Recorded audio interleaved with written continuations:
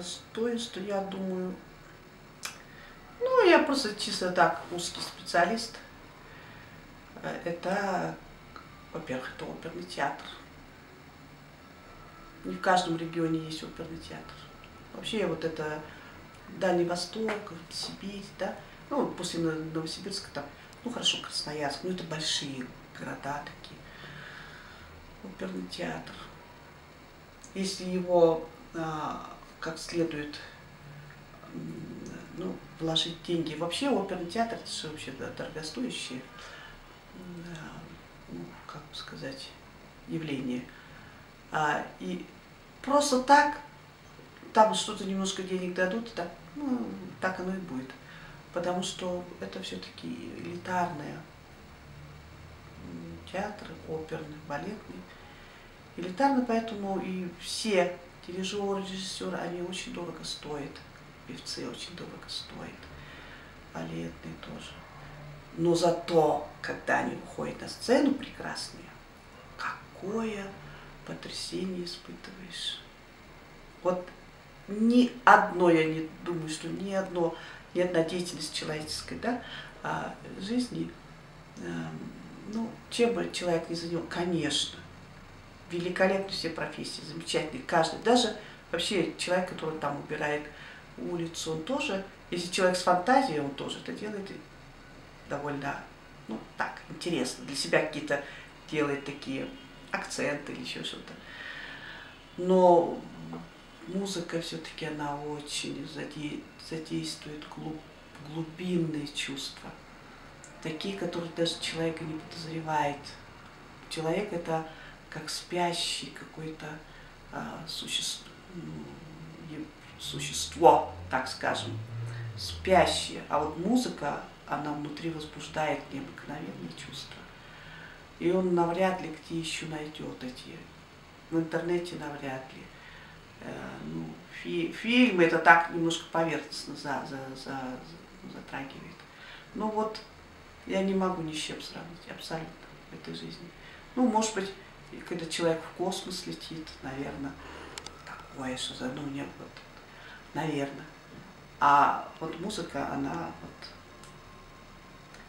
вот очень, ну, как это, как сказать, э, какая-то терапия а, а, сумасшедшая. И в то же время дает возможность человеку взглянуть вовнутрь себя. Почему после концерта? Ну, это, конечно, наверное, не всем дано, но, а я вообще думаю, что это всем дано. Просто каждый приходит на концерт, ну, я ничего не понимаю, он так и не будет понимать. Расслабься и просто слушай. А для того, чтобы до человека донести все это, нужен хороший оркестр, хорошие певцы, хорошие балетные, естественно, прекрасные установки нужны.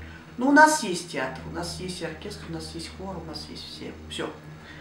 Но так, ну этот вот вопрос вы задали, ну какой-то очень получился широкий. А недостатки какие-нибудь есть в Бурятии? Конечно, много недостатков. А, ну, во-первых, это все-таки удаленность очень большая от культурных, культурного ну, такого как бы мегаполиса. А, вот это сказывается во всем, начиная от вообще быта ну, нашего, наших горожан, нашей республики, ну, во всем это сказывается. И кончая, конечно, вот э, темпоритмом, который вообще есть в мире, ну, в больших городах. Хотя, с другой стороны, может быть, этот темпоритм особо и, кто знает, может быть, как раз на Западе люди, люди ищут тут именно этот спокойное течение времени. Время здесь течет очень а, медленно, так спокойно. Вот тут время ощущаешь. Вот как-то такая текучесть есть. Может быть, это хорошо, а может, это плохо, я не знаю.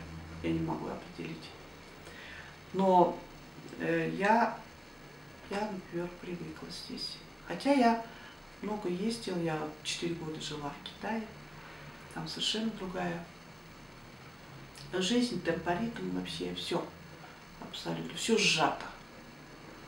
А здесь, вот, и, конечно, ну и вот на этом фоне и все вот уже вытекающие последствия, отрицательные всякие. Люди долго включаются. Это не значит, что они долго соображают, ни, ни в коем случае. Все очень хорошо соображают, но долгое включение идет.